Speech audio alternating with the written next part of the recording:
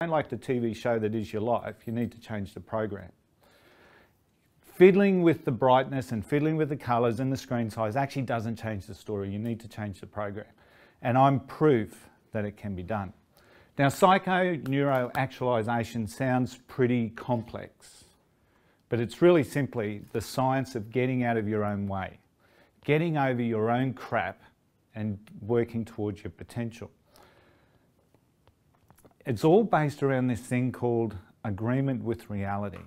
And our agreement with reality is the story we tell ourselves, the story we tell ourselves. And we all see people with poor agreements to reality every day. We say good morning to people, we get a grunt back. We know those people. We get to work, someone gets asked to do something, they fire up at the boss.